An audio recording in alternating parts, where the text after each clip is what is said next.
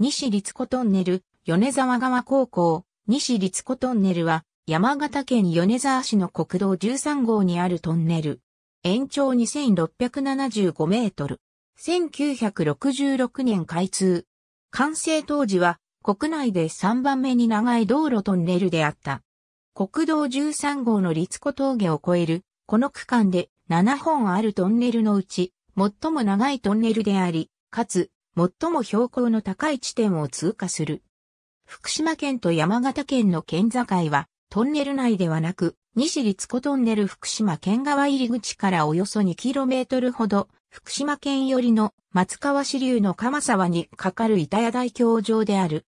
東立子トンネルと同様の長大トンネルであるため、トンネル入り口の建物内にある送風設備でトンネル内の換気をしている。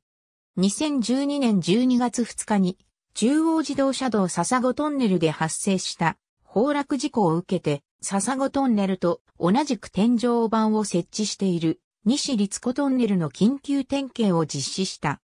東立子トンネル、西立子トンネルの天井板撤去工事を2013年10月15日から2013年12月20日の間で実施されていた。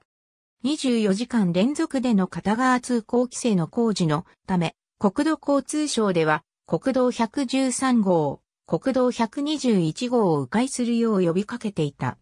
しかしながら工事は順調に進み、12月6日午後4時で西立子トンネルの24時間片側交互通行は終了した。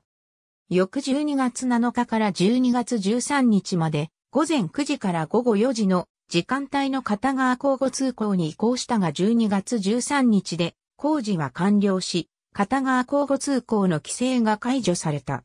東立子トンネル、西立子トンネル、岩部山トンネル。ありがとうございます。